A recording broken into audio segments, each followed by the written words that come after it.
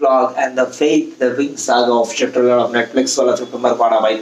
बहुत ज़्यादा पावरफुल लग रहा है तो बहुत ज़्यादा सुपर हीरो कंटेंट लग रहा है, जिसमें सुपर पावर नेचुरल पावर सबको दिया गया। सबके पास डिफरेंट डिफरेंट पावर जैसे इटर्नल्स आप देख रहे थे, सबके पास डिफरेंट डिफरेंट पावर है। उस तरह द विंग सागा फेथ में भी एक डिफरेंट डिफरेंट पावर है, लेकिन इस पावर के साथ कुछ ऐसा होने वाला है जो सबके साथ छिन जाएगा। वो एक राज, और एक राज के साथ खुलेगी एक नई पावर की चरनी जो बेसिकली इन्फिनिटी वॉर को थोड़ा सा ट्यून्स और थोड़ा सा बीजीएम को उठाकर बनाया गया है। थोड़ा सा लेकिन ज़्यादा नहीं।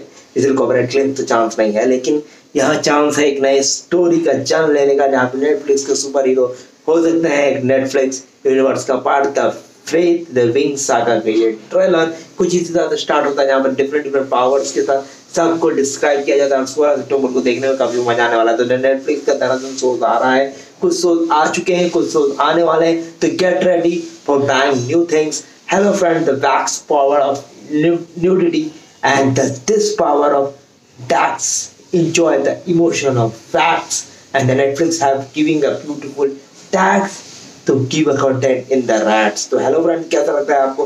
नेटफ्लिक्स का सो सोर्स इंटर टू इंटर आते हुए और क्या लगता है हमारे ब्लॉग्स पर डे वीडियो बनाते हुए? तो नीचे दोनों कमेंट करके बताइए और बस चैनल को सब्सक्राइब कर लीजिए। मैं